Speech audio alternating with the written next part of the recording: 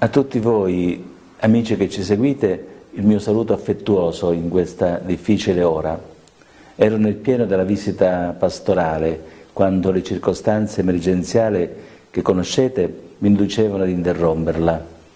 Ancora scorrono davanti ai miei occhi i tanti ammalati incontrati nelle loro case, insieme ai loro familiari, i ragazzi con problemi di disabilità. Li saluto tutti, uno per uno.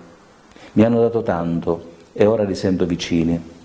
D'improvviso, sul più bello si direbbe, siamo stati costretti ad interrompere anche le attività pastorali, dalla catechesi all'oratorio, alle altre attività liturgico-sacramentali. Ciao ragazzi del cammino dell'iniziazione cristiana e dell'oratorio parrocchiale. Mi addolora tanto questo rallentamento delle attività, così come l'aver dovuto rimandare di alcuni mesi la celebrazione delle prime comunioni e delle cresime. Sono certo che non perderete tempo, continuate ad impegnarvi nell'ascoltare e conoscere Gesù attraverso la lettura dei Vangeli. Alla fine sarete ancora meglio preparati.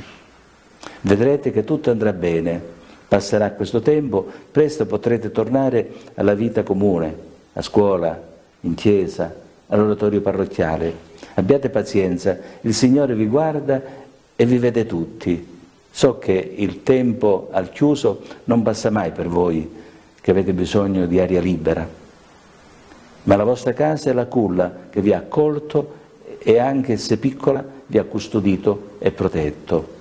Questo tempo forzato dentro casa è una prova che vi renderà più forti. Coraggio, Presto verrà il giorno della prima comunione e della cresima e sarà una grande festa per voi. Vi dico semplicemente arrivederci a presto. Ora c'è la Pasqua. E Pasqua lo stesso, anche quest'anno. Viviamola con gioia. Anche se non ci saranno tutti i riti degli anni passati e non vi sarà possibile venire in chiesa, seguite dalle vostre case tutte le celebrazioni attraverso la televisione e i social. A tutti dico è una Pasqua vera. A voi ragazzi chiedo di vivere la Pasqua pensando a quanti soffrono e a coloro che sono impegnati in prima linea in questa emergenza. Trovate un momento di preghiera per tutti gli operatori sanitari, per i medici, gli infermieri e tutto e tutti coloro che si prendono cura degli ammalati. Abbiate tanta fiducia, abbiamo tanta fiducia nel loro operato e nelle loro specifiche competenze, ma dobbiamo restare loro vicini perché non si scoraggino e conservino tutte le energie per svolgere il loro importante servizio nella cura dei malati. Auguro a tutti di vivere la Pasqua nell'intimità della casa, anche se non è possibile partecipare alle celebrazioni liturgiche che avverranno a porte chiuse, potete seguirle attraverso i social. Ci spiace questo, ma è un sacrificio che va fatto per tutelare la nostra ed altrui salute.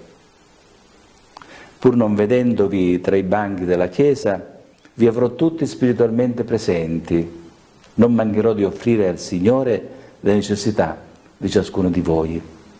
Viviamo questa Pasqua dell'incontro col risorto.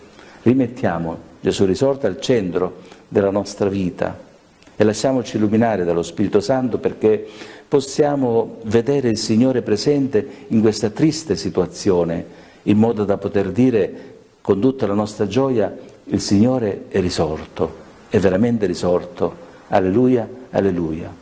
Con affetto vi saluto e vi benedico. Buona Pasqua.